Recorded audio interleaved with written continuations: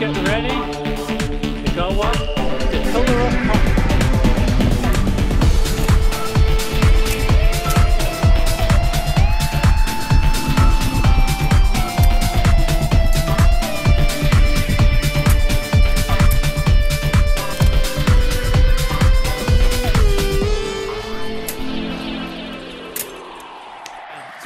pop.